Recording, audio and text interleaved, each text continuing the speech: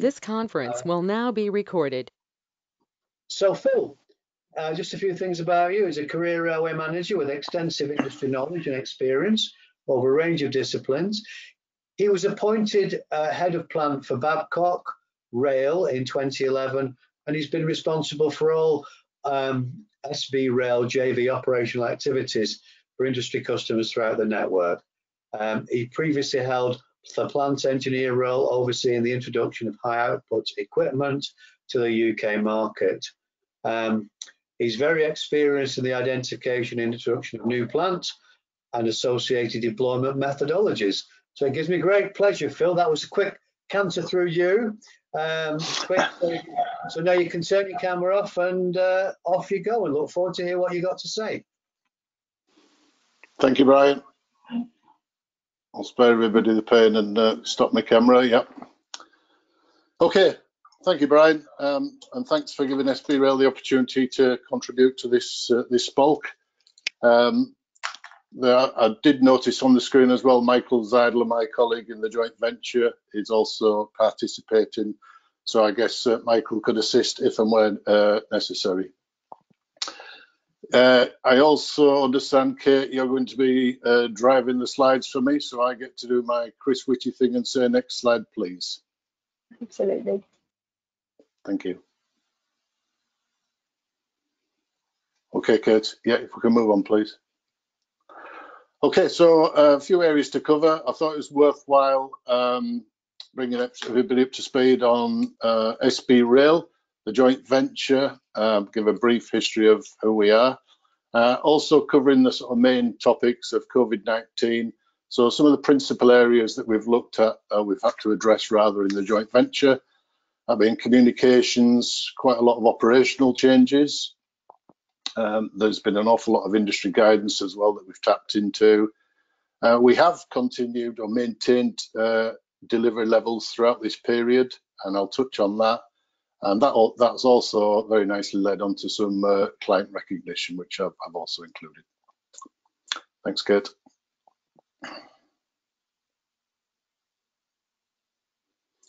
Okay, so SB Rail. Um, so probably one of the long, longest standing joint ventures in the industry. Uh, came together in 2004, uh, principally uh, brought together to look at uh, bringing European best practice into the UK uh, rail market.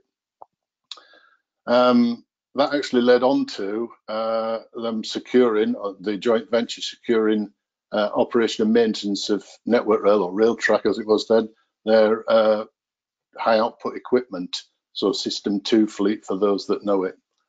Uh, and that's why the joint venture was originally sort of based in and around Reading and Swindon area.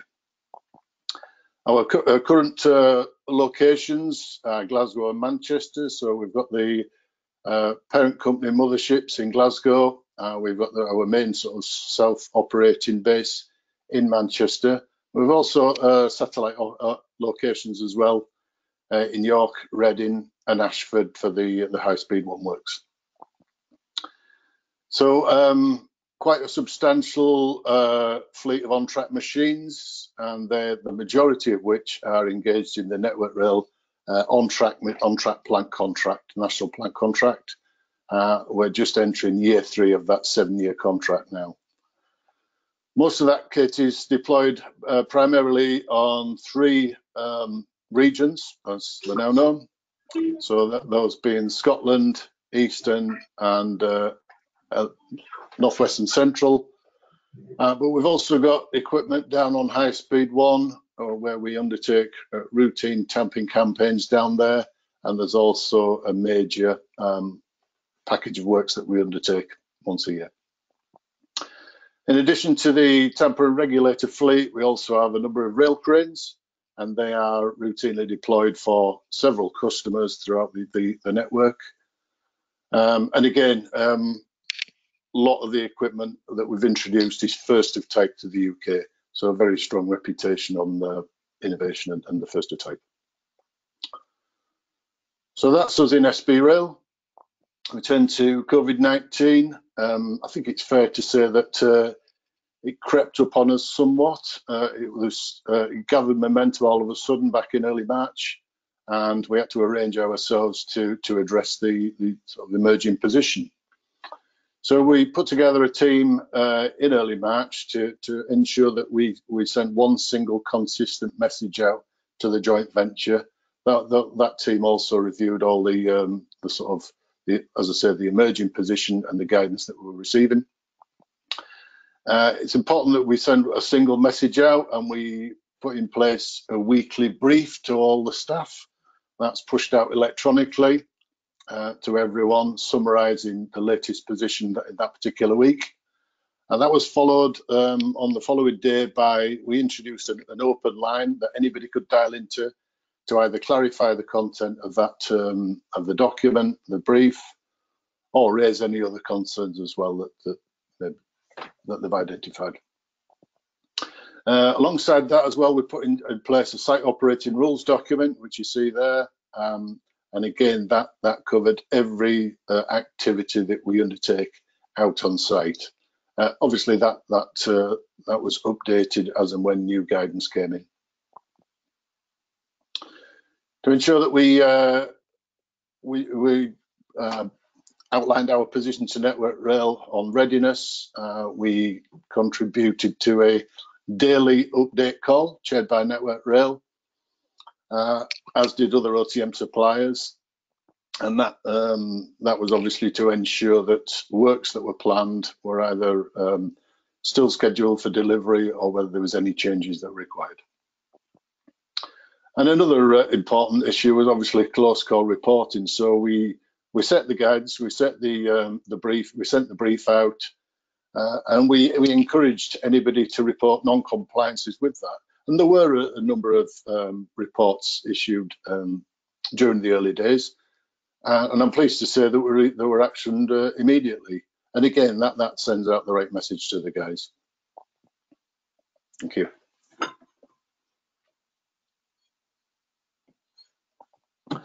So our um, normal mode, mode, of operations needed to change uh, to take into account the, uh, the social distancing requirements. Probably the main one that we had to look at was uh, when we're tamping S&C. So when we're, currently when we're tamping S&C, we have two guys in an operating cab on a tamper that are probably sat a metre, a metre and a half apart, clearly uh, contravening the, the social distancing guidelines. So some of the guys came together and pulled together a, an operating, a revised operating method, uh, which only, which resulted in only one guy uh, being required to sit in that cab during the uh, the tamping operations. There was also a guy stood outside as well giving guidance. So quite a major uh, package of work that the guys did there. Uh, we shared it with the industry, and I know it was adopted by by other operators as well. So we're very proud of that piece of work. Uh, also, when we've undertaken works on site, um, the customer who we're working for, whether it's a renewals contractor or maintenance colleagues, they um, scrutinise the post tamping geometry, and that had previously resulted or required two guys again in the the uh, what we know as the tower cab. Uh, clearly, we, we had to put something different in place there, and we agreed a revised method of undertaking that, uh, that analysis as well. Uh, during uh, before COVID-19, the sort of general uh, methodology was that uh, site staff would travel throughout the work site on the tamper in the cabs. Obviously, we had to do something different there, so we agreed uh, different locations on the machine for those guys to to be located. And also in the cranes, um, when we're deploying the outriggers on the cranes, there's quite a substantial pad that we need to position. And that's that's quite an intensive manual handling activity. And again, we put a revised, revised method in place to uh, to undertake that activity as well. During this this uh, position, we found ourselves um, with limited hotel options available to us because of the geographic coverage of our operations inevitably uh, we do use quite a, a, number of hotels. That that um, that option reduced down, so therefore uh, during the the discussions with Network Rail and other customers, There was an agreement reached where we would reduce down site times, uh, thus allowing the guys to travel before and after the shift from the home location and stay within the, uh, the 12 hours, the maximum 12 hours. Obviously, we needed uh, PPE out um, to the machines and, and sanitisation um, materials. So we put in place uh, a distribution schedule um, to ensure that all the all the machines had the necessary supplies on board. And again, remembering the coverage, we always quote the Wick to um, Watford area. In truth, it's probably further than that. So quite a large area to keep supplies maintained. Uh, some of the road vehicles, we fit temporary partitions between the, the front and rear cabins. Again, that um, that seemed to be a welcome move by the guys. Excuse me. And, uh, and on occasions, we have had guys that uh, that have um, self-declared symptoms, and therefore any machines that those guys have been on prior to to declaring symptoms, we arranged an external company to come in and undertake some some deep cleaning.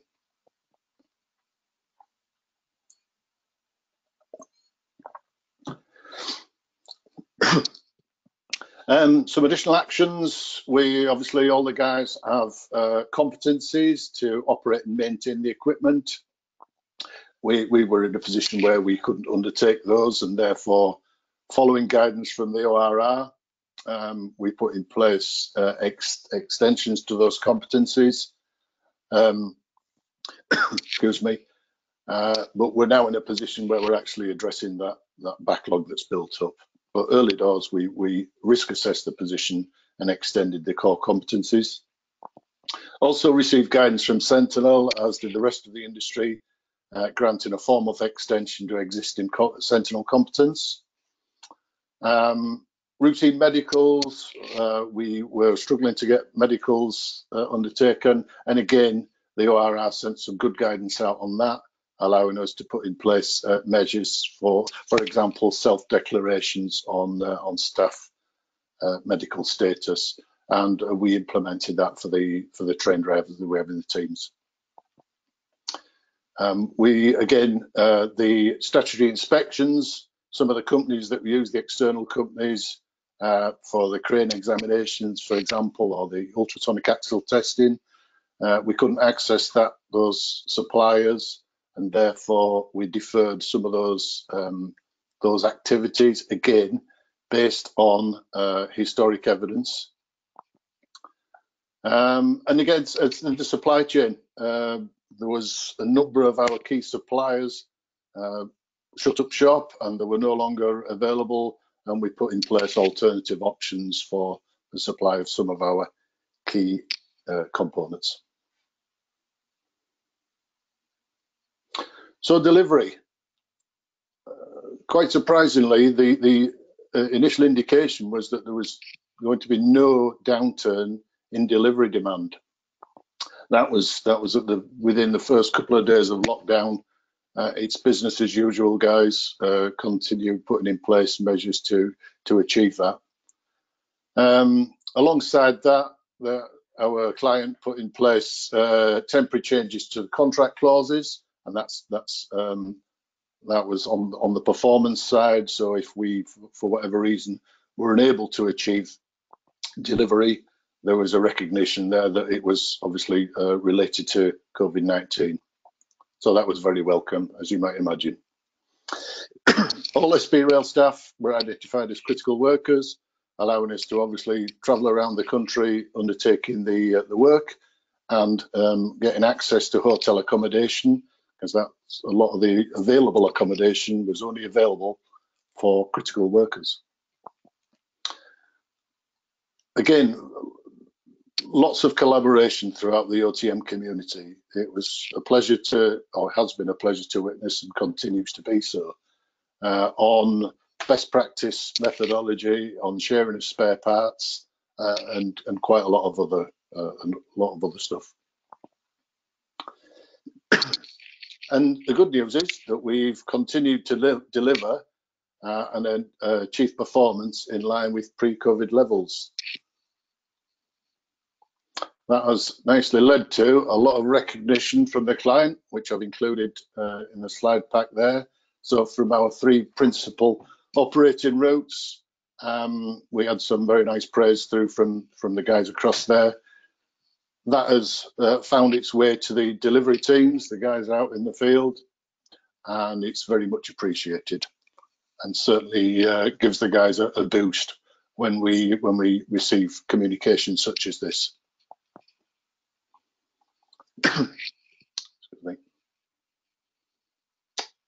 And that, ladies and gents, was all I had to say today.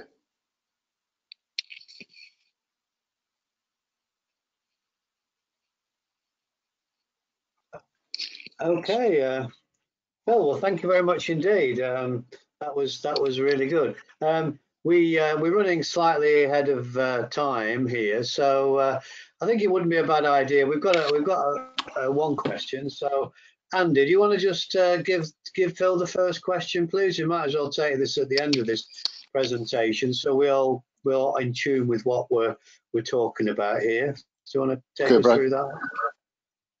Okay, there's just one question from Phil. Um, if, if there is now one man outside the cab during the tamping operation, what is your opinion? Is it actually a worse situation overall because the man outside is less likely to catch Yeah, but is in danger from the moving machinery? yeah, it's it's a good point, Andy. We we obviously uh, recognise that in the risk assessment, um, and the site specific is is the the honest answer, Andy. Um, obviously, if if we're on the embankment, then the risk is far greater than a nice flat straight piece of track. Um, but again, control measures in place. He is in constant communication with the uh, with the operators on board the machine. Um, I think uh, I think he, he is in a safe position, Andy. Otherwise, we wouldn't have implemented this revised method of working. Nor would the would the wider community, to be honest. Thanks very much for that. That was actually from Michael James, the question. Okay, thanks, Michael. Okay, if anybody's got any other questions, um, I've got a question for you. Um, that uh, well, I'm, I'm just want to say that sorry, probably two people arrived a little bit later. I'm delighted. It's Brian Counter speaking here, uh, chairing the session. I'm delighted that we've got uh, 39 people here. So welcome to everybody. It just shows the interest that we've had in all this stuff. Um, and as I say, if you if you're late coming in, just a quick one to say that the presentations for the last two are available on the PWI website. So please have a look at those because we've got different organisations and different companies, and it's a good way of sharing best practice. So please have a look at those. Uh, I've just got one one question. I think you've alluded to this in your presentation, Phil, and it was to do with productivity really have you been have you been managing to do the same amount of work in in similar possession times with the under the new arrangements Yes, so again, uh, so plain line tamping, Brian, no noticeable uh, reduction in volume. Uh, S&C tamping, it does take slightly longer to tamp through complex S&C with the revised working methodology, um, but but no no significant reduction. just as a follow-up on that um obviously it took a while and uh, i'm really impressed by the way everybody's been working together and it seems like there's been an amazing amount of industry collaboration on getting things into place it obviously took a while to get things into place. Did you lose a lot of shifts while that happened? We were very fortunate, Brian, that we were relatively un unaffected compared to other operators, uh, and therefore, no, the the reduction in volume was uh, not noticeable. Uh, in fact, Michael might put me right, who's also on the call, but I don't think we lost a an OTM shift um, as a result of the position we found ourselves in with COVID-19. Hmm. No, that, that that's really good. Uh, uh, Andy, I think we've got one more question we can just take before we move on. Yeah, it's just one more from Steve Featherstone, which uh, it's got nothing to do with COVID. But what is the latest on the 09 4x4 stroke 4S how is it be received by clients and what is the order book looking like? Thanks, Steve. Um, yeah, excellent uh, feedback. We've we've just uh, with the first, or rather the third SB Rail 094S has been in service now since week one. Uh, some good good performance output from that. The fourth 094S is, if it isn't already here, it's certainly en route it from Austria. It arrived this morning in West Ealing. Ah, there we are. Bang on, bang Hot- on time. Just as hot off the the press. timetable. Yep. Perfect. So that was Michael advising that the, the fourth 09 is, is here. Uh, we've got a period of fitting the UK equipment on board it, and then it will be in service at the end of June. Machines five and six undergoing manufacture still in Austria. So, so that begs me a little question because um, we're all into tampers and there's lots of people listening here, 39 of us, and quite a few of us probably don't realise what the difference is between this new tamper and the previous one. So, what are the advantages then, Phil, of the of the of the new machine? Okay, so the, the machine you see there on the screen, the, the 4x4 4S, um, that is, as it says, their dynamic machine, so it's a continuous action tamper. The blue uh, assembly you see there is a satellite, so that's the that's the part of the machine that that stops, tamps, and moves forward. The main body of the machine is is continually moving throughout the worksite, so therefore the outputs are greater. Uh, also on these machines, they have the DTS units, dynamic track stabilizer, and that uh, allows um, the customer to um, increase the line speed handback or achieve line speed handback, if, if, if I must say. So lots of benefits also on the recording system uh, for the various geometry that we achieve. Uh, we probably haven't got enough time, Brian, for me to go through the whole list, but uh, No, it, it's. It, I, I think we're we're all back into sort of uh, excitement and looking forward to the future. And we've made such main strides in this sort of area as an industry. It's fabulous, and it's it's good that Steve's Steve's watching, and that, that's excellent. Um, so if there's any time at the end, uh, Phil, we're we've got a little bit of time for question and answers at the end. So if anybody's got any other questions they want to put you on the technical side, then we can have a crack at those as well as the stuff that we're dealing with on the COVID side. So in the meantime, Phil, thank you very much indeed. Much appreciated. Thank you, Um, thank you for your presentation. And uh, it's good to see what, what's been happening within, within SB Rail. That's excellent. So I, am going to move on to our next speaker, and uh, and this is uh, Dominic Trueman from TFL. Um, so uh, Dominic's just appeared there with his with his new haircut. So uh, now I'm, I'm only jealous, Dominic, because obviously you know I I you know I could do with I definitely could do with a haircut myself, as you can probably see. uh, um, so I think Kate needs to take away the other one, and then you can upload. No, Yeah, it's just a I'll- case for Dominic to share. Oh. Okay, fine. So I didn't realise you had to take that one away. So if, if Dominic, you would uh, just like to upload yours, that'd be excellent. Uh, and then I can do the introductions. There we go. People. Thank you very much, Dominic. Um, yeah, just introducing Dominic. Um, he, he- he's no stranger to the PWI. He's uh, presented on a number of occasions and uh, more recently at the technical board earlier on this year. So uh, it's, it's good to hear what's going on in, in this role. He's a chartered mechanical engineer with 10 years of rail engineer experience. Um, he joined Metronet in, as a graduate engineer in 2007 and uh, in his early days, he did a lot on rail defect management, and he was a lead in that. And he, was very successful in that role because he got a 50% reduction in emergency rail defects between 2014 and 2018. No mean feat in, in a complex system like TFL. Um, he also did a lot on rail noise, and I remember watching one of his presentations at London Transport Museum a while ago, uh, especially with the introduction of Night Tube.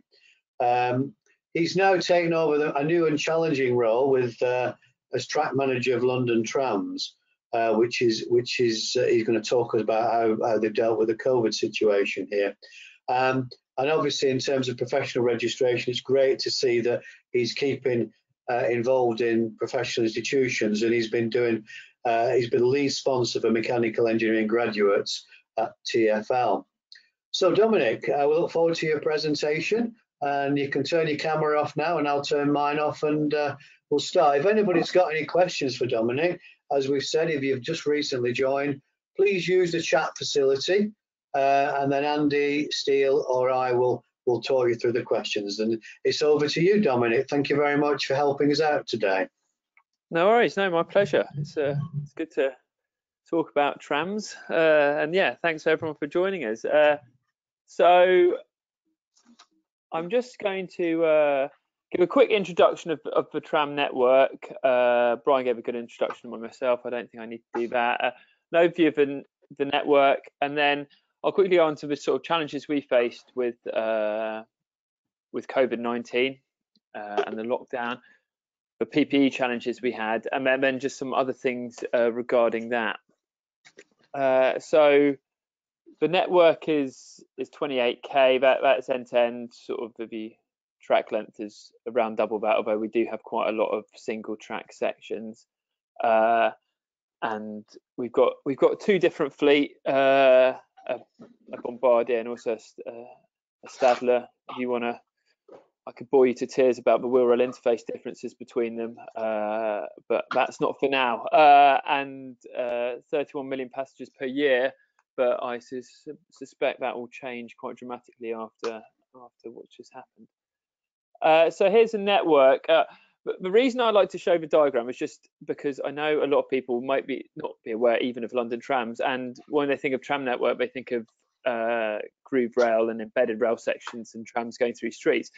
If you just look at the sort of loop uh, between sort of West Croydon and East Croydon, in the middle of that, that loop is our only uh, embedded rail section. It actually does go out to the Sandilands uh, there, but that loop and down to Sandilands towards the right are the only embedded track sections we have on on the network. The rest is is ballasted track, and so a lot of the issues that affect mainline railways, we have the same issues, and we require the same maintenance. Um, that's so just a Harry Beck version. Again, you can see the the loop and down to Sandilands. That that's uh, that's just our embedded track section. The rest is is ballasted. So uh, the, the, permanent way team uh, is, sits under this sort of infrastructure team.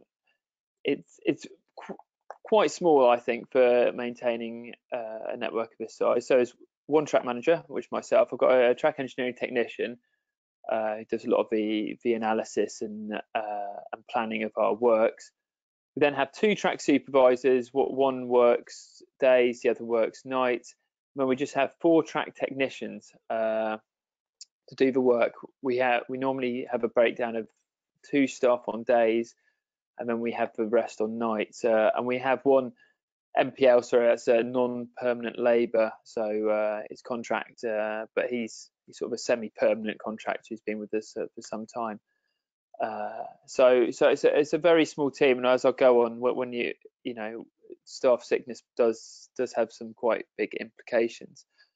Uh, just the challenges we have you know not when there's a pandemic on is that uh, one of the big surprises of me is the points mechanisms are maintained by P-way and not by a systems or signaling team. Uh, reason for that is a lot of them are sprung point mechanisms just for the uh, the uh, dual to uh, single line running, uh, and so it's a it's a wholly mechanical device, and so that's why the P-way team do it for a mechanical engineer for myself, that's quite good though. Uh, I know uh, track engineering can get a bit civilly at times, so maintaining the points mechanism at releases some real, real mechanical engineering.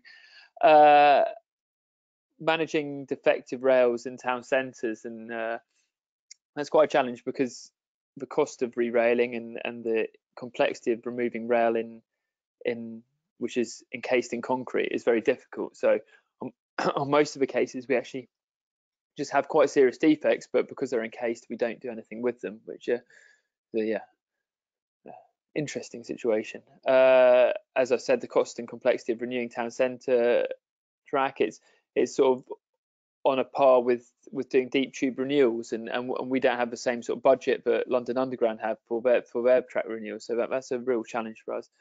Uh, we, we have unusual components. I say we've got ballasted track. It's ballasted track with on the whole 49 E1 rail rather than rather than 56. So so that's that's difficulty when it comes to just clips and just generally getting rail.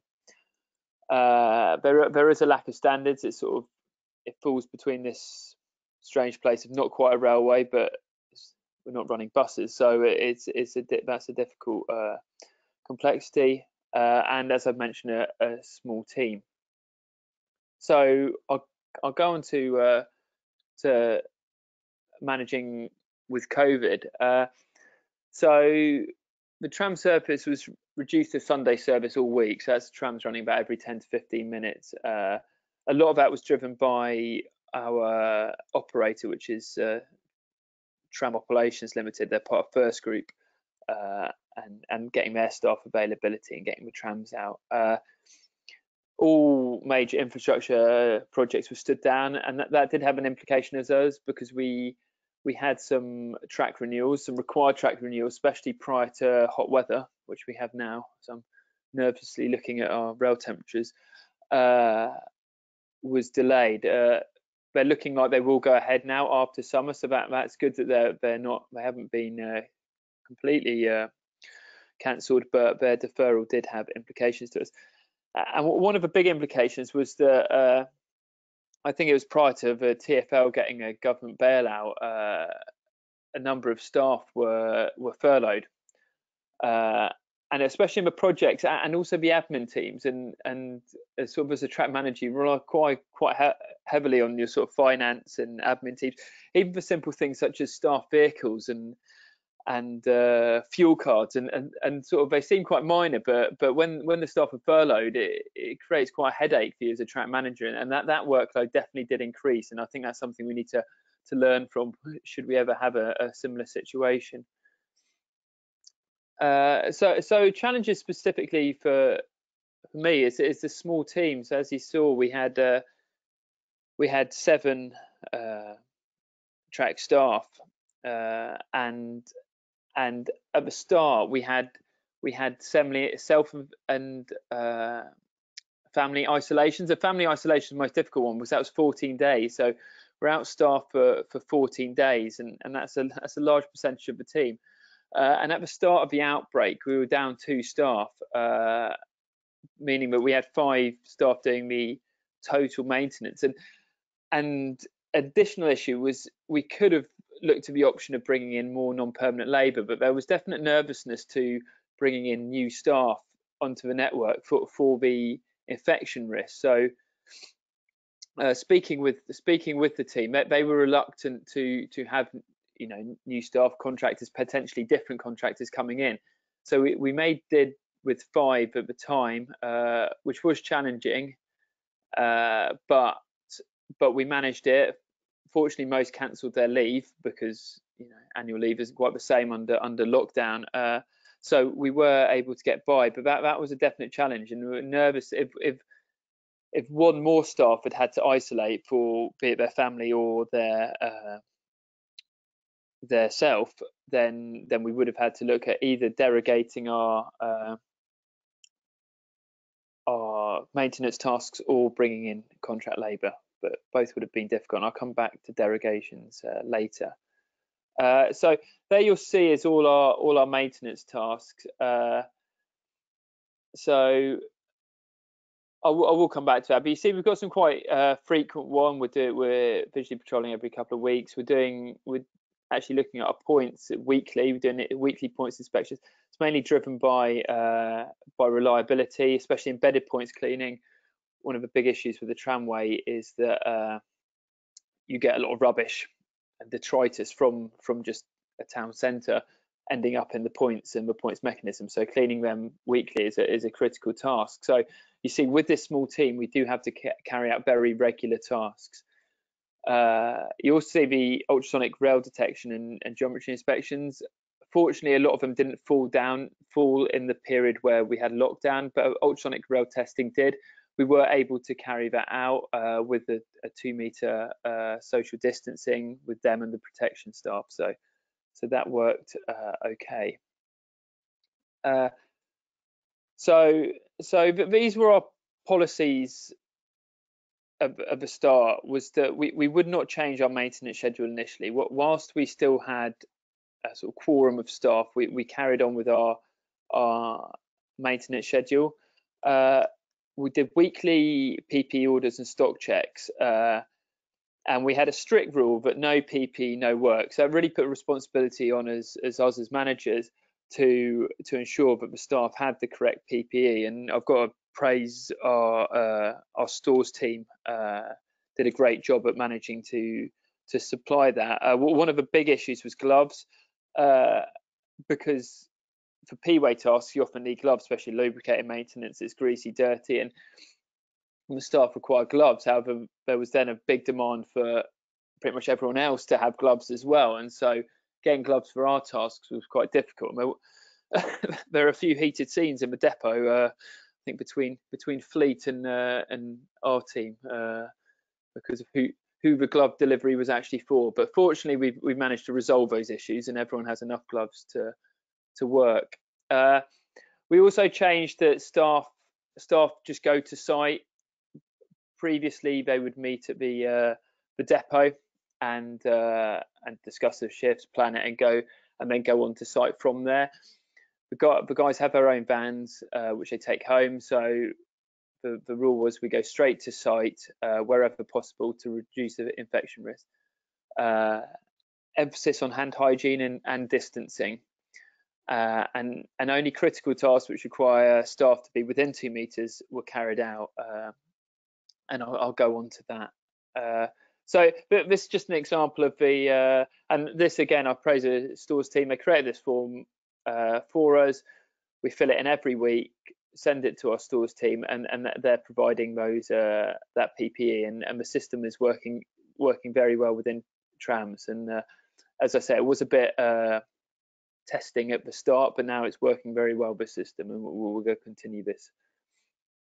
Uh, and also just you know here's a here's a log of the usage. So, but this what this allowed us to have a look at is is because there was an element of panic buying at the start. Is what you know what are stocks, what are we actually using, so we can we can tailor our order a bit better, so ensuring we get the right right amount in. Uh, we listed out all the uh, all the tasks, and I've done it for the whole works team here, but you can see the top two are are for track is uh, is the number of uh, is a, is the shifts that required staff to be within two meters. We couldn't carry out lubricator maintenance wherever possible with distance, but there are tasks where you need the two guys to be within two meters. So so we just listed them so so we're aware of them and the guys have the correct PP to do those tasks we we have drafted derogations uh, based on the, the ORR guidance to to derogate against certain maintenance tasks uh, if we had a significant staff shortage. Uh, currently, we haven't had that. As I said, we got down to five, but we didn't have got any uh, lower. It was risk assessed, so uh, you saw, for example, the weekly points maintenance because that's a reliability driven thing. That's mainly about cleaning cleaning and oiling the slide chairs that would be a task that would be would be extended and we wouldn't do it weekly. We would run the risk of additional uh, additional call outs perhaps because of reliability issues and tram reliability may suffer but it wasn't it wouldn't be risk it would be risk based and we wouldn't be putting a risk on the railway unlike our safety critical patrols. So so that's it. Uh, I, I, I feel we we've coped quite well. I I think possibly being a small team has uh, has has helped us. I uh, being critical workers allowed allowed the sort of childcare issues to be resolved, and also the fact that a majority of the work is nights has also helped uh, helped the guys with families uh, to do that. So I, I, do think on trams we, have managed quite well. Uh, reliability has actually probably been better than it's ever been. I think that's partly due to reduced service and reduced usage of uh, of the tram network. But yeah, we're, carrying on going, and hopefully, hopefully the projects will uh, will start up later this summer. So uh, yeah, hope that helps, and uh, yeah, happy to answer any questions. Okay, just uh, put my camera on. Um, thank you very much, Dominic. Much, much appreciated. That was uh, that was really helpful. Um, I, just a question from me while Andy's looking at see if we got any from elsewhere. Um, I take it, obviously, it, uh, the tram system down at uh, Croydon uh, runs as an independent sort of system. Did you follow sort of uh, sort of TFL COVID guidelines that were sort of set by the centre, or did you just do your own thing on the trams?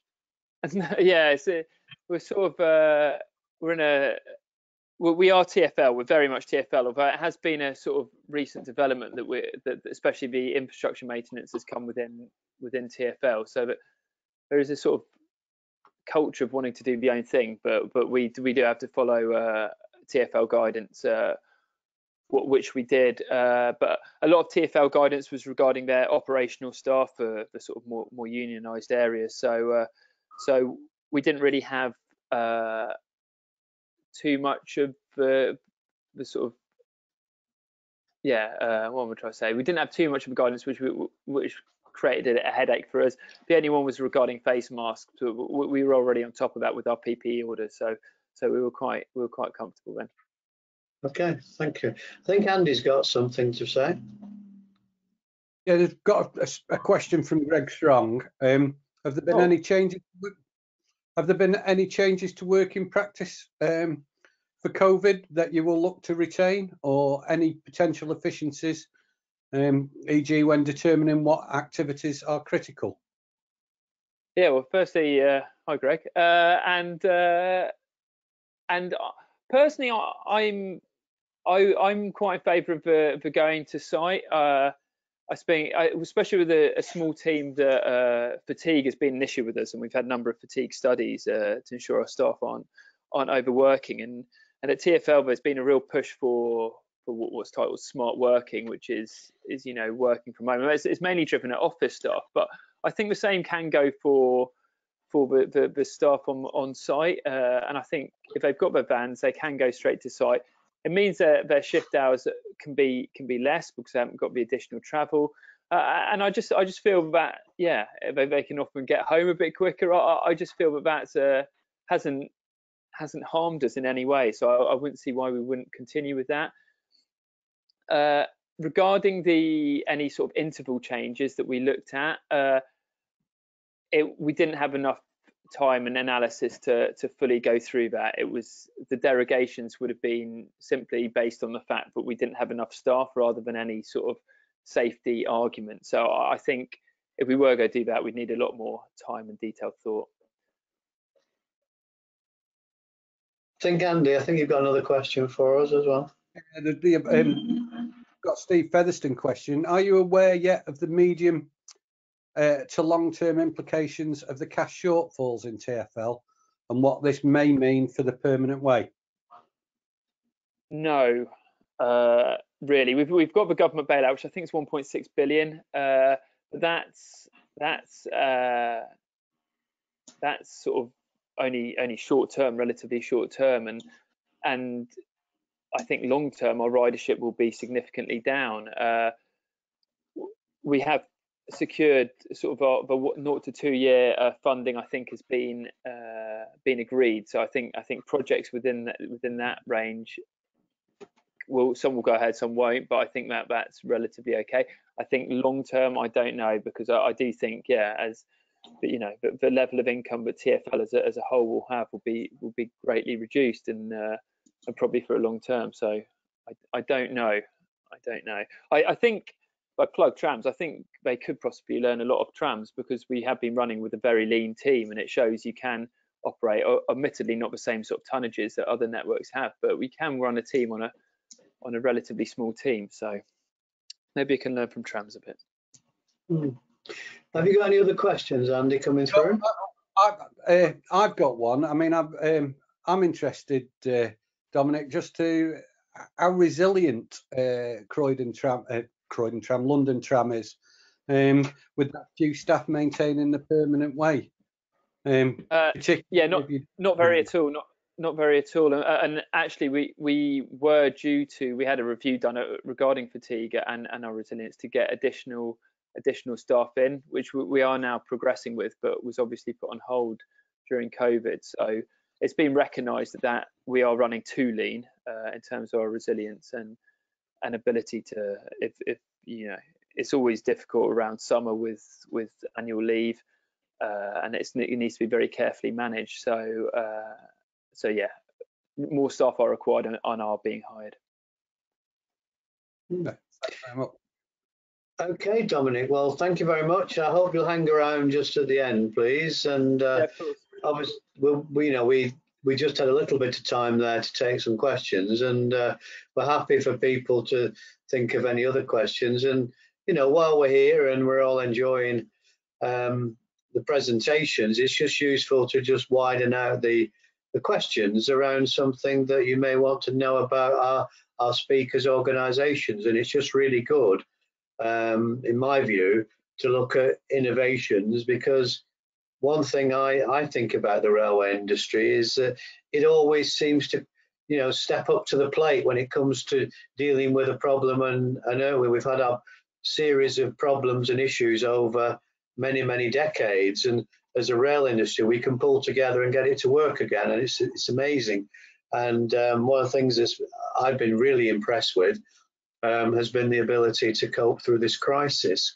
Uh, but uh, and it just proves to me that you know we do have a long way to go in, in innovation, and I think a lot of lot of us in the PWI, you know, are very keen to to talk to create that arrangement where people can communicate benefits of innovation. So perhaps we can use that as a bit of a catalyst when we finish the next presentation. So if you can be thinking about a couple of questions there, you know, if we can if we can solve these problems well and we can use some of the great things that we've learned in the last few weeks, what can we bring forward in the future? So I'll just sort of pose those for you for the end session. And while we've got three great speakers here, that would be excellent.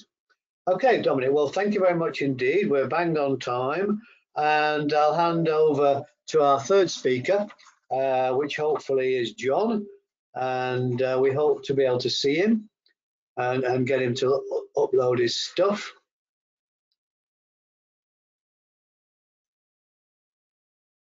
Yep, have you seen my screen now? We can see you, John, with those famous headphones that uh, are quite You like them? quite impressive. Quite, I, I'm just jealous of your headphones, you see, because they're just incredible. So, uh, if you want, yeah, just just put it onto screen, put it onto um, slideshow for the first slide. Just got to. If you just press, that will be fine.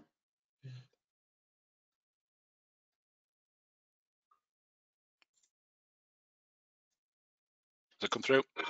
Is it? Is it not? Oh, Second. there, there, I think. Are we there? Let's just leave that for a second. I'll just introduce you because I think we need we need to go on to a different version of that one. But just leave that for a minute. Let's uh, sort that out in one second. Let's just talk about you first. Uh, interesting. Um, it's great that we've got you here, John. This is John Austin from British Steel, and I didn't know much about what's happening in British Steel. I glanced at his slides, and it seems to me that uh, British Steel is uh, thriving. They've got new owners, and it's good to see they're providing the sort of services that we need across this country. And uh, John's the perfect expert on this because he joined British Steel in 1993 as a trainee.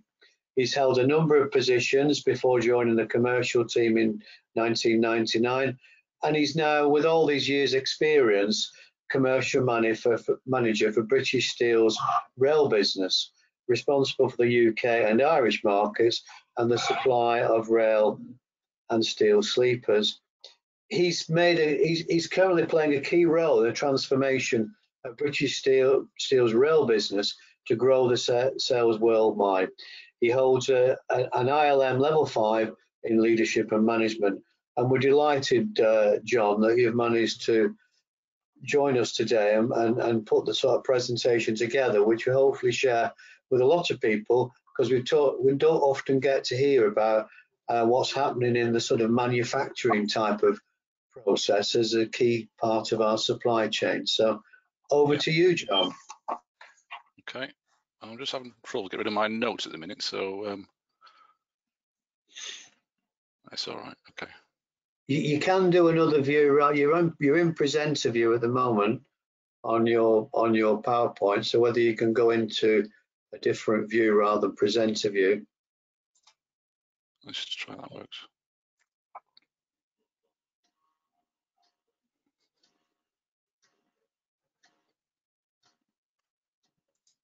No, it's not working. Depends on Not the good. type of PowerPoint you've got. Can you help Kate or do you understand what he's trying to do?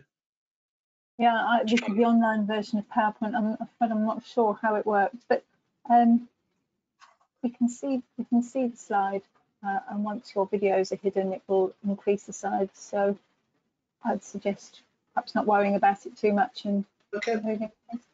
let's let's carry on then, John. We can see we can see the main slides anyway. It's just that we can all read your notes as well, which is great. You see, you can just go to sleep and we'll just read it. No, it's fine. You carry on. Great to see you, John. Um, and if you want to carry on, thank you.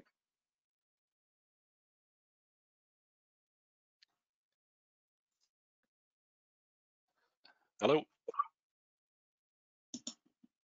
I can hear you. I can still see my slides. I just had a message saying it, uh, you couldn't see my slides anymore. No, we can see the slides. That's fine. Oh, right, okay. Right, I'll, I'll, I'll, I'll carry on. I'll carry on. Uh, good afternoon, everybody, um, and welcome to the final talk of today's session. Uh, my name is John Austin, and I'm the commercial manager of the rail business for British Steel. Um, today, I'm going to talk about some of the practical solutions as we, as a business, like many others, have had to implement to ensure the protection of our employees. But I'm also going to talk about how, as a company, we monitor the wider picture and effects of COVID-19 to ensure continuity of supply to our key customers.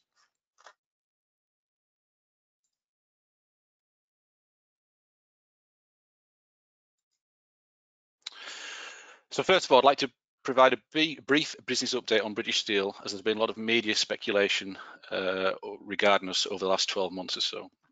Uh, on 22nd of May 2019, British Steel was placed into compulsory liquidation. Um, supported by the UK government and official receivers, the business kept running as normal whilst maintaining production outputs.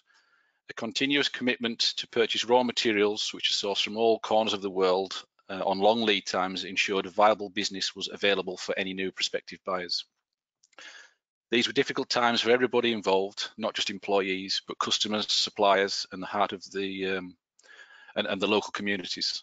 The steelworks in the UK are at the heart of the local communities. So whilst 4,000 direct jobs were potentially at risk, an estimated wider supply chain of 20,000 jobs were also thought to be at risk. A special thanks must also go to British Steel's customers who've supported us through this difficult period, and in particular for the rail business, the continued support from key customers like Network Rail and Transport for London is gratefully appreciated. I'm pleased to say that the process ended successfully with the sale of the business to the Chinese steel giants Jingye Steel. Jingye's vision is, is to expand their business through international growth, and British Steel's products are complementary to their existing product portfolio. The sale included all of the UK assets, which are mainly based in Scunthorpe, Teesside and Skinningrove, and also the European wire rod business based in Holland. Jingye's plan is to invest into the manufacturing operations with an exciting commitment to spend over £1 billion over the next five-year period. Jingye have had a team of over 40 employees from China working alongside the workforce in Scunthorpe for many months now to learn from each other and share best practices. So Jing- Jingye's rise to success is an impressive story. Their first blast furnace was built in 94 and now they have 18 operational furnaces. Jingye is a family-run business now employing over 23,000 people and generating a revenue of over 10 billion pounds per year.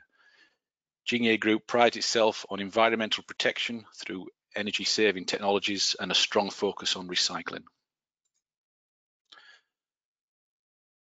So British Steel site in Scunthorpe is an integrated steelworks, which means it produces all of its steel products from raw materials. British Steel has four main product lines. So starting from the right-hand side, It has two wire rod mills, one based in Scunthorpe and one based in Al Alblasserdam, Holland. Both mills produce high quality wire rod for the automotive, construction and engineering markets. The next product line is what we refer to as special profiles. So based in Skinningrove in the northeast of England, this mill produces a range of products mainly focused on the yellow goods markets. So its key customers are the likes of Caterpillar and JCB. The construction business produces structural steel sections from two mills, one based in Scunthorpe and the other based in Teesside. Predominantly used in the construction sector for the likes of buildings or stations, we also see these products being used in the masts and catenaries used in overhead electrification of the railway. And finally, the rail business. British Steel has been producing steel railway rails for over 140 years, supplying 95% of the UK rail demand to both Network Rail and Transport for London, British Steel really is at the heart of Britain's railways. Whilst the main operations of British Steel are based in the UK, we do have manufacturing sites, service centres and the sales office throughout the world. Local guidelines and restrictions had to be considered for any of the British Steel staff working in these locations with regards to COVID-19. The production of steel is a complicated process and has the potential to be extremely dangerous. This is why the site in Scunthorpe is a Tier 1 COMAH site, which stands for Control of Major Accidents and Hazards. The Scunthorpe site is strictly regulated under the COMAH regulations, and we have to manage our activities in a way which reduces risks to the workers and the public. This is achieved through appropriate plant design, process control, mitigation measures, and emergency procedures. So what does COVID-19 mean for a Tier 1 COMAH site? It was clear from the early days of this outbreak that continu continuity of supply of key products to the railway industry must continue. As a key supplier to the likes of Network Rail and Transport for London, we needed to ensure there were no impacts to supply. Key to the operation of our site is people. Our highly skilled staff ensure safe operations 24 hours a day, 365 days a year. It was clear from an early stage when the COVID-19 pandemic started to affect the UK one of the busy, biggest risks to business was the ability of employees to carry out their duties by safely attending their workplace. As the Steelworks in Scunthorpe is an integrated site, a lot of operational areas rely on the other areas working as planned. If manning levels were to fall below critical levels in particular areas, this could enforce shut down plant and equipment, which has the potential to stop delivery of key products. So we needed to monitor the effect of those employees unable to work due to having to self-isolate. And starting on the 17th of March, we tracked not just the overall number of employees affected, but more importantly, the different areas and where they worked. The map shows the different areas on the site on the Scunthorpe works. So we closely monitored the number of employees affected in each of the different relevant areas. The red circles show the number of people at a point in time who are having to self-isolate, unable to uh, unable to attend work.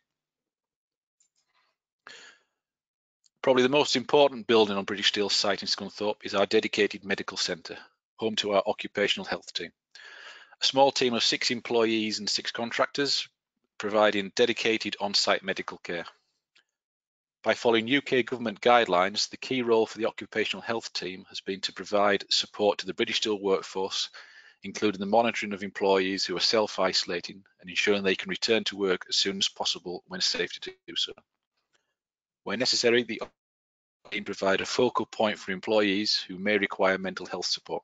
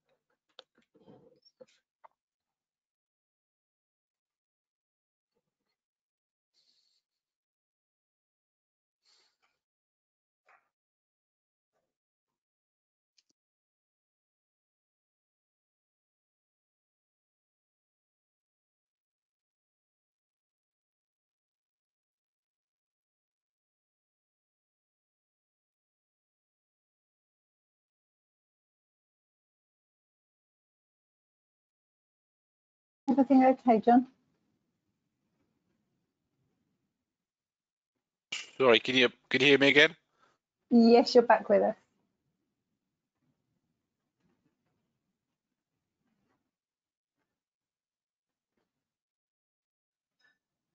Hello.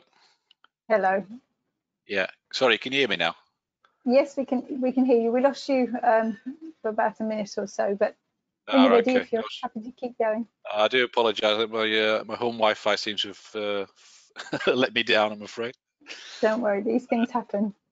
That's okay. Right. Okay. Um, I think I've got. I'm not sure where we got to with that one, but I think I'll I'll I'll, I'll skip on to the next one.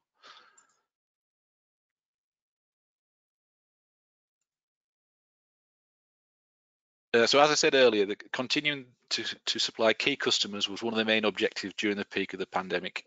Understanding customer demand is crucial in keeping British Steel operational. We work in a number of markets supplying many different products, not just the UK and Europe, but all over the world. During the early stages of COVID-19 crisis, the role of the commercial teams was to provide daily updates on how customers and British Steel's supply chain were being affected. The demand plan, which is a central tool that drives the business, was monitored through a daily governance process and led by the executive team. The daily governance meetings reported and discussed on customers, customers, markets, transportation and supply chains to identify areas of issue and give them a red, amber, green status. The slide shows an example of what was being monitored and discussed. Throughout this period, it has demonstrated the need for clear communication with key, st key stakeholders even more than ever. The ability to provide updates to stakeholders and listen to their issues or concerns is key to making informed decisions. For the rail business, we held a number of conversations with customers to develop high, medium, low supply scenarios, but this really was a crystal ball moment and the only way to manage the situation was with constant reviews. Another measure we found useful was the monitoring of other steel producers throughout Europe. Not all of these, these steel producers on the map are direct competitors of British Steel, but it was useful to understand how COVID was having an effect on their similar operations. By monitoring how other steel mills were affected, allowed a picture to be created, which was used as a decision-making tool as how British Steel would react to closures and restrictions. This was recorded and monitored on a daily basis to help make informed decisions. Communications with customers is always important, but during the peak of the pandemic, daily communications were necessary to keep monitoring the situation. As an example from uh, one of our uh, from our wire rod business, one of British Steel's customers, Schaeffler, was wanting to reopen its operations after furloughing its plant for a period of time. The customer wanted to ensure it was the right decision to reopen their facilities, so as part of the process, British Steel worked in partnership to provide sufficient confidence that supply of products would be able to be resumed whilst adhering to the best practice measures they were putting in place. Communications with customers are now returning back to more normal levels, which is hopefully a positive sign. Moving forward to onto more of the specific details in relation to COVID. Whilst we were learning to adopt the new way of working, British Steel engaged with UK Steel, who represent all steel companies in the UK, and BAYS to share best practices to input into the steel sector guidelines. These guidelines cover numerous areas as detailed on the slides. As a business, we've tried to use information from many different sources, even if the guidelines are focused on an industry dissimilar to ours. One of the main reasons the PWI held these sessions was to understand how different, different businesses have reacted to the COVID situation and how this information can be shared with their members. I think it's important that all information shared and readily, readily available for everybody. The UK Steel Guidelines are free and available for downloading for anybody who would like a copy. In terms of some of the practical measures we put in place in our sites, um, these are very similar to what was being presented before. And I don't think it's a bad thing to repeat what others have previously shared. I take it as a positive we are all implementing the correct necessary precautions. Throughout the sites, we have a number of control rooms or pulpits where the, more than one employee must work together. Social, social distancing measures have been put in place where possible, but if employees cannot work alone, the use of face masks must be adhered to and extra cleaning of the working stations is carried out. Exclusion zones have been put in place within office and reception areas and hand sanitizer in place for employees and visitors entering buildings. Anybody wanting to visit or drive on our sites must go through a safety induction, we receive drivers coming to collect goods from all European countries on a daily basis. The induction centre has been modified to ensure a two metre distance is maintained whilst carrying out their induction. The majority of the office-based staff at British Steel were instructed to work from home prior to the national lockdown. There are a small number of staff that must attend the office to oversee the, to oversee the operations. The current numbers attending work means that social distancing can be easily accommodated. We are working towards how the return of office-based staff can be managed once any relaxations in the rule over home working are announced. Restrictions of where people can sit within offices are being reviewed and the tape is being used to easily identify how many people can work in a particular area. Hand sanitizer stations and COVID-19 guidelines have been added to any clocking in and frequently used areas. Throughout the COVID-19 pandemic, the operations of the main steelworks has continued. We did furlough, furlough the plant at Skinningrove and one of the distribution centres in, in Lisbon Island, but this was only for a three-week period before they reopened. Jingye has demonstrated its clear drive and commitment throughout this period of uncertainty. Individual care packs have been provided for the employees who have continued to attend their workplace. Jingye has also donated critical PPE to the health and care workers in the North Lincolnshire and across the Tees Valley. And British Steel will continue to follow and share best practices whilst we work towards returning to some sort of normality. So how are we going to manage the situation going forward? Our comprehensive risk assessment matrix specially created for COVID-19 will continuously be re reviewed and revised while government guidelines are updated. We will continue to monitor and focus our operations with key stakeholders. Most importantly, we have pledged to ensure the maximum protection and safe working of our workforce, visitors and local community. Uh, that's the end of my, my, presentation. I would just like to say thank you to the Permanent Way Institution for giving us the opportunity to present and thank all the attendees for listening. Uh, if you do any further questions that cannot be answered during the Q&A session, please feel free to contact me on the email address there. Great. Okay. Well, thank you very much. Uh, that's John. That's really appreciated, and uh, thank you for keeping to time. That's even better. Um, we've got uh, we've got one question that's coming forward uh, soon, uh, which affects all three. Um, I just wonder, have we got any particular questions for John at all, Andy, that's come through? Have you got anything before I start? Um, we haven't had uh, any any more come through online, but I I've got a question for you uh, for you, John. Um, having Chinese owners, did that has that had any effect, or has brought any insights into how you've dealt with the COVID nineteen? Uh, yes, I think there has. Um, I think if you go back maybe three or four weeks before you know the national lockdown kicked in, I, I personally, I was certainly one of the one of the people that thought that uh, we can't just uh, shut down whole countries and industries. We just can't stop doing it. We're going to have to just get on with it, despite you know what you were seeing in the media. Uh, but they certainly they were certainly bringing over uh, experience because they they were they'd obviously experienced the um, the pandemic before us, and were actively encouraging British Steel to to consider different ways of working. So um, there was a, there was an encouragement for anybody that could work from home to start doing that. Um, so we we were we were uh, done that was done well before the sort of national lockdown came into place. So I think yeah I think as the as it as it spread across the world, they obviously had the sort of um, the foresight and um, um, they had some experience to sort of share with us and and that's what they did. Thank you. Yeah, it yeah. seems like we're, are masks made compulsory and uh, everything else on on site, or um... they are they are now. Um, I think the initial problem was um, getting hold of them, um, but uh, I think we, we, we had some problems uh, initially getting hold of them, but um, they they are now. Uh, if you if you can't social distance, then you must use the the face mask. Yes. Okay, thank you. John, I, I have got um, a question about the COVID side first.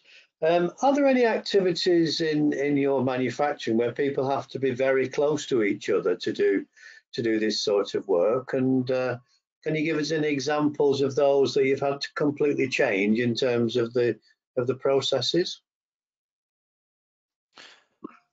I, I think a lot of the operation, I think we're we're we're probably fortunate that um, that can either be done um, singularly, you know, one person doing it, or uh, we you know we can segregate people. Uh, there, there, was a picture on the slide where there there is a number of um, pulpits, uh, control rooms where you need at least two people in a in a room, which is a confined space, and that's where the the rules of um, using the face masks has, has come in. Okay. Yeah, and then the last question for me before I throw it out open um, is uh, in terms of con continuity of supply, because obviously, as, as you're right, as, as everybody has indicated, you know, this is a critical activity. I mean, presumably you were a critical activity. And did, did you have you had any interruptions in supply to your main customers because you know at the beginning and in the medium term while you got these things sorted?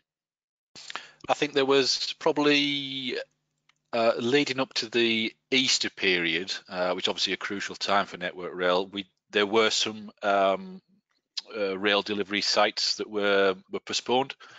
Uh, but it wasn't a great deal, to be fair, to Network Rail. That they, you know, they really seemed to manage the situation really well and um, so we've had very little impact really to our supply. Mm. No, thank you very much for that. Um, I, am just going to throw. I've got a. I've got a, a general question actually, which uh, um, could be regarded as one for me, particularly because I did. I did mention uh, what the PWI was all about, and we are all about knowledge sharing. Um, and that's what we do we share knowledge but in a lot of cases the knowledge comes from different places and the development of that knowledge does as well and particularly innovation and it was an interesting question that we've had from andrew thornton is how how do you manage innovation in a competitive environment? And i think i mean this is an interesting very very fascinating uh, subject area for us all because we do want companies to share what they do um, but we are obviously aware that if you're in the supply industry, then you know then there are issues to do with you know competitive advantage and that sort of thing. And I'd like to throw the I'd like to ask uh, Phil that question first of all because I mean you you you are, you are you there Phil? Can you hear me? Yeah, I've got you, Brian. Yeah, Phil, I'm asking you the question first because I mean, you know, supplier plant is a very competitive industry, and you're always looking to, um, you know, to improve what you do. How, how, what's your view? I mean, that's a complicated question, but what's your view on this? Where you want to share what you're doing with other people, but you obviously got to think about your competitive advantage. Yeah, so well, the honest answer, Brian, is that um, I think we can go so far with sharing innovation, and then we we we protect it to a certain extent. Uh, and we have examples of that, that where we've undertaken that in the past. So that might be either a unique piece of plant or even a, a methodology. Um, and that that's probably the way that we've done it. But but generally, the sort of routine innovation and working practices um, no issue with with sharing that throughout the industry. Yeah, well, thank you for that. Mm. Dominic, can I throw that one home to you? I mean, you've been on the client side really for uh, for quite a few years, so you've been dealing with different companies, and I know particularly in your area, I know from uh, time I've been listening to what's been going on in TFL, there's been lots of uh, innovations coming forward. Have you found that that a barrier to innovation? Do you think this uh, competitive uh, issue? Uh, I wouldn't say no, not really. I, I think I think it's important for us to, to share our, our problems and, and for then the industry, the supplier industry, to to hear them so that they can. It's giving them sort of uh, food for thought for, for developing developing innovations. But the issue I found more isn't isn't actually within sort of permanent way. It I mean, this is probably maybe a bit, bit specific to me, but it's between the rail industry in when when there's interface issues. Uh, so so the big one for me uh, is is regarding sort of squat defects and, and defects which are caused by a rolling stock or a traction package issue. And and there, there just doesn't seem to be much communication between there and whether that's something for this institution, I, I don't know how, but uh, so we've been progressing it uh, within TFL, uh, talking to our, the suppliers of the traction packages, and but they were genuinely surprised when I met with the people who developed traction package. They were they were very interested about hearing about these rail defects, but it just it never got through to them, and it's been a it's been a sort of industry issue for well decades now, and, and so and so I think within the rail industry, I've always been quite pleased about the innovation. Obviously, we can we can improve, but I, I sort of feel that communication with suppliers is quite is quite good in my view. But it's just within the sort of yeah more systems view that I feel that's where the, Mm. the rail industry sort of struggles a bit. Thank you for that. Can I just call call you in, John? I mean, you're you're an expert in this field because uh, you know you're you spent a lot of time in the commercial side in a, a very competitive industry. One could argue the steel industry. What's your view on on this idea of innovation uh, and and competitive advantage and knowledge sharing? I think from our side, I think it's um, we're we're probably a little bit privileged because we we work with a number of key customers that, that, that I'd call partners more than customers. You know, the, the likes of uh, Network Rail and, and Transport for London. So we can, and it, and it goes back to Dominic's point about understanding what the customer's problems are. You, you, you need to start off with that first before you you know you look at sort of the innovation side of it. Um, I, I would also agree with Phil in terms of there is a bit of a grey area where you're not quite sure from a commercial side of it, um, and you just need to be protective towards the the work that you're doing. You know, because nobody wants um, when you're putting the work in to develop the innovation, then you you know you want the prizes at the end of it as well. So it it Mm. a it is a difficult area sometimes. I mean, I, I've prior to you know to the time I've been with the PWI, I spent a lot of time looking at innovations in the rail industry, and that was always that was always the big issue. You spend a lot of development money uh, when I was working for a company, and, and looking at what's the best thing you can do, and that, that that's very tricky when it comes to going back to selling stuff to to, to supply to clients. I mean, um, Andrew Thornton. I mean, do you want to make a final comment on that? You asked you asked the question. I'm very open to any any comment from yourself on, on what you've heard from the speakers. If you're still there, is Andrew is Andrew still here? Does he want to say something?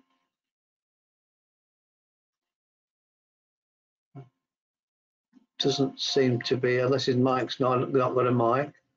He's just Um, coming via the chat, Brian, to say that it's a good debate. Oh, all right, thank you. Andy, there may, there's another question that you want to pose, I think. Yeah, it's come from Ian Salisbury, um, who asks, "As wearing face masks um, caused any problems with people talking to each other? Uh, well, I, I can say we- we haven't had any issues reported about about communication. Uh, most of both my track techs, you, you could like I don't know, you can muffle them, you still be able to hear them. So uh, I think a, a little face mask, uh, yeah, hasn't ha- hasn't had an issue at all. Uh, we haven't heard. Okay. What about you, Phil? Because I mean, Yeah. that's interesting because people communicating with each other in a tamping environment is difficult anyway, isn't it? It, it is, Brian. Yeah, I mean, a lot of the uh, equipment that we use is is sort of noise cancelling, you know, exterior noise cancelling. We also have a lot of throat mics as well uh, that we use on the um, on the equipment. So again, masks wouldn't necessarily affect comms uh, in that respect. But one of the biggest issue we, we've had with face masks is um, eye protection misted up when they're wearing the uh, the face masks that seems to be a bigger problem than an effective comms, than affecting comms, sorry. Yeah, yeah. Oh, thank you for that. Uh, Um, do you want to say, anybody else want to say anything on, on, on, do you want to say anything on face masks, John? No, I've, I haven't heard anything. And, um, I think where we where we um, have had to implement the use of face masks, generally the quiet areas, the the control rooms. So it, uh, I don't think communication has been a problem for, from our Yeah. side. Well, we've got to thank you for that for those questions. I mean, we're still we've still got a little bit of time left. I, I'm and we've still got 30 people here, but congratulations to everybody for coming and staying. I mean, we, we had nearly 40, so that's really good, and I hope people enjoyed it. I just have, I'll just ask one one question, um, and and I'm going to go around each person each person individually on this one. Um, it's almost like a final question. I mean, we we've we've we've had the COVID pandemic, and we we're still working our way through it. Who knows when we'll come out at the end of it? But one thing that strikes me is that there has been some health benefits. Now, would you like to go in? Would you like to tell me what you think any general health benefits or a greater focus on the health of our workforce has been during this crisis? Do you want to start with start you start, John, please, because you can say that from a. I notice you mentioned quite a lot in your talk about about health health concerns and and support for your staff. Um, yeah, I'm not. Um, I'm not too sure we've uh, what, what health benefits we've seen really. Um, I think you know from the office office staff, I guess uh, not having to commute to work um, does that you know does that allow them to uh, to to do some more exercise um, through the day? Um, I'm not I'm not really sure to be honest, uh, Brian. Well, you said you've got a medical centre. I thought that was. Uh, did you say you've that is that a new thing at your place? Oh no, it's it's it's been there for a long time, but that I mean that's more focused on the um, uh, you know the sort of accident emergencies and things like that. But it, but he does also you know he, he does look at the um, he does also cover the mental health side of things. So it, that's that was the, yeah, that was the main point. Yeah, I was just I was just thinking that. Dominic, do you want to comment on general health of staff? Yeah, well, like, like, I mentioned, I think going to site and just uh, leaving from site and not going back to the depot. Uh, well, I think that's just sort of cut a bit of time off a shift, which you could argue added added little benefit. Uh, so I think that's been good. I, I do also think the communication uh, has maybe been been a bit better because previously we relied on, which I still think is valuable. I do miss just the sort of general discussions you have around the depot, and, that, that's gone. I, I, I almost feel that's a shame, but I also feel that now our communication was it's, it's like digital is virtual has actually been a bit. I think we're communicating better, especially regarding our planning, because we're a bit less informal, we're a bit more formal. So I think I think if we're talking, it's not really a health improvement, but it's, it's been a, a, you could argue it's been a positive of, of how we're working now but uh, in terms of our planning, we've had to be a bit a bit more formal. So so that, that's been that's been a, a benefit.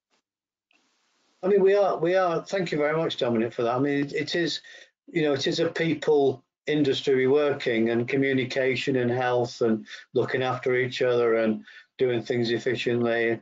And and it just seemed to me that the general message I've been getting on all these SPOLK events has been very much about a real basis of people working together better uh, Alan, uh, sorry, Phil, do you want to do you want to add something from SB on health? Yeah, from from an SB perspective, Brian. So we've obviously uh, in the um, weekly briefs that we pushed out, we've included healthy choices guidance um, quite frequently.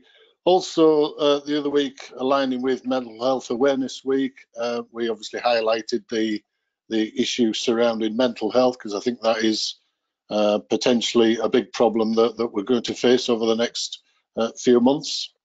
Uh, from a personal perspective, uh, I've had the cycle down from the brackets in the garage for the first time in a number of months, and I've right enjoyed going out. Certainly this time of year, um, so it's certainly benefited me. I can tell you. Yeah.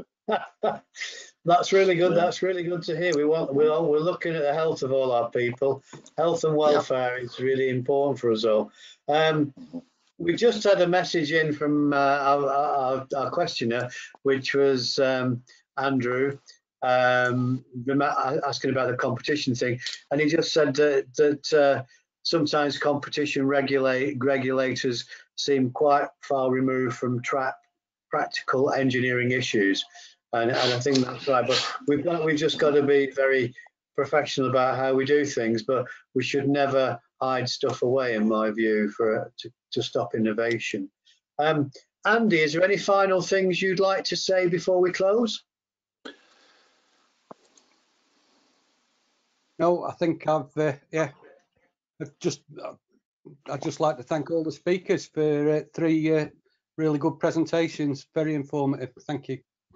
Well, Andy's done a lot of work on this, so please, if you didn't catch the first two, please look at them because I, I'm just really impressed by by all, all the presentations that we've had so far. So on that on that note, I would like to thank everybody for joining us. Thank thank you to our speakers. Um, and uh, I just want a quick word with Phil. So Phil, if you could just stay online for a minute at the end, that'd be really helpful. But on behalf of the PWI, thank you everybody and keep safe and keep well. Thank you very much. I'll give the round of applause. Thanks